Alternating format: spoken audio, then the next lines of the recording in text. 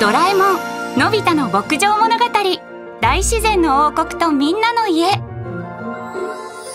見知らぬ星へやってきたのび太たち。そこで出会った少年ライトの願いを叶えるためみんなで牧場を盛り上げることに。さまざまな人たちが暮らす自然豊かな星入間星でのび太たちの牧場生活が始まります。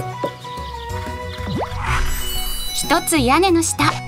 みんなで一緒に暮らしながら動物のお世話をしたり作物を育てたりさらに2人で協力することも。こんなに大きな株も力を合わせれば仲間と一緒にあなただけの牧場を作りましょう。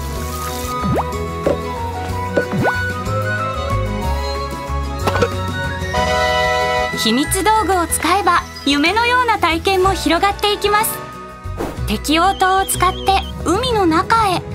深海の真珠をゲット。タケコプターで雲の上まで。珍しい作物が収穫できるかも。春夏秋冬みんなと過ごす日々はあっという間。かけがえのない日常が紡がれていきます。何気ないことも大切な思い出としてあなたの心に残っていくでしょう。うまくいかない日もあるけれどみんながいるから乗り越えられる。ゆったりとした時間の中で過ごすほのぼのスローライフ。